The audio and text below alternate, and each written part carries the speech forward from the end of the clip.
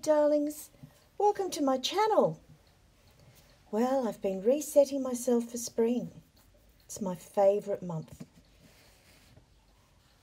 It feels like after winter, you come out of hibernation. Winter is all about staying indoors. Spring is all about going outside, enjoying the garden, enjoying the flowers enjoying the grass. Though it's still very cold here in Ballarat, and we had minus one last night. But the reward is the beautiful day. Blue skies, light fluffy clouds, the sweet smell of boronia, the humming of the bees as they work so hard collecting the pollen. Well, the world would stop without the bees. That's what they tell us. So, while I do my spring reset, how do I do that? What do I do? Well, it's easy really. It really is different way of living when it's spring compared to winter. Because spring, you're outside so much more. Bert and I go places. We go out and take our coffee and have a coffee here and there. And we just love to get out and about when the weather's really good and it's easy to do here in Ballarat. You have to enjoy the seasons. We have four seasons in a day sometimes here. And as I'm one that always suffers with the seasonal affected disorder, you know, the sad one, I like it when it I have the sunshine.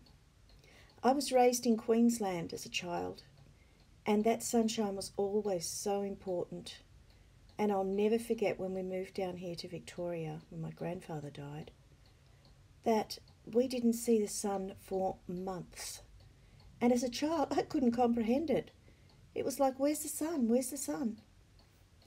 And no, for about three months it was nothing but grey skies. Absolutely hideous. So now that I'm used to it, I know that winter isn't good for me, but all spring is. So breakfast is outside now, and we sit on our little couple table that Ben gave us when he moved out of home.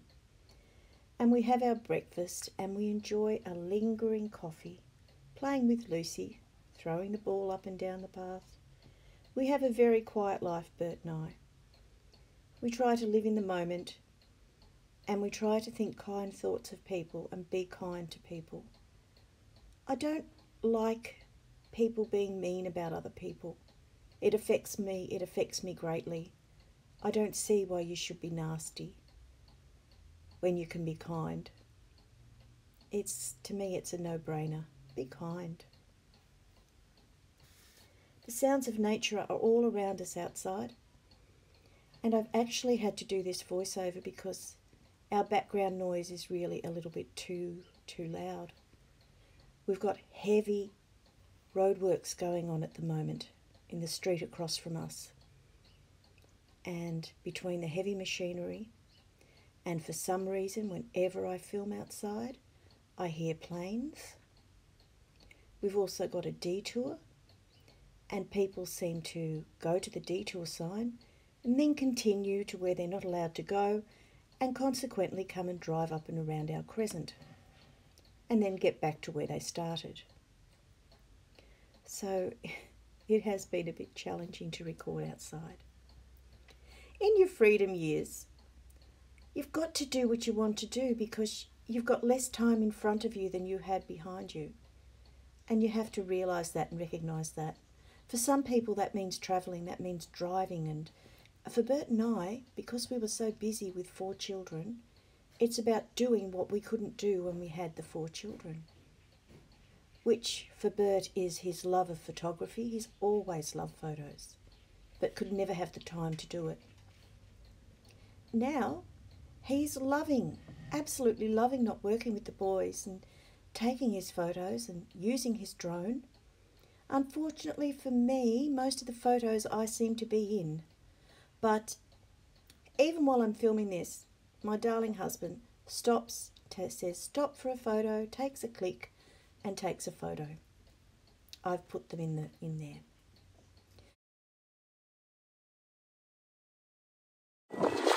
they're beautiful. Camellias are the best.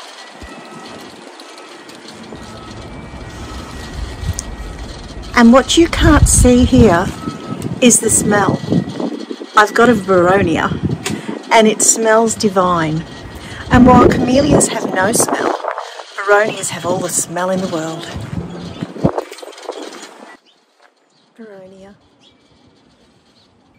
All open and smiling at the world. These are the tulips that Anna Marie brought for me as bulbs when it was the deepest of winter. I planted them out. Oh, look who I found. Here comes my darling Bert. And they've given me so much joy as I've watched them grow and now flower. We love walking around the garden and we look for the very first sign of disease or the first sign of life and we love it all. I think spring is a time when the garden thanks you for all the care that you've given it over winter. Because the winter is the busiest time for us in the garden. We're always fertilising and checking and trimming and just making sure everything's going to be okay for the spring. Although, having said that, in the spring I put lots of fertiliser down. The spring's the time that you really start to build the garden up with lots of love and care. Bert put special solution around the trees for months to prevent leaf curl this year. You have to put it around the base of the trees, and we didn't know that. So that's really helped. We can't see leaf curl, and we're hoping that he got it right this year. So what I've also started is a nonsense journal. Now, darlings, have any of you got a nonsense journal? Definitely time for a coffee, I'd say. So, a nonsense journal, you just write down whatever is in your head. You don't try to make it make sense, you just Beautiful. treat it as somewhere to dump your thoughts. That's exactly what it is. So, here's the flowers I picked. Lovely on the table, smelling divine. I hope you've enjoyed this video. Please leave me a comment, comment if you do, and thank you so much for watching it.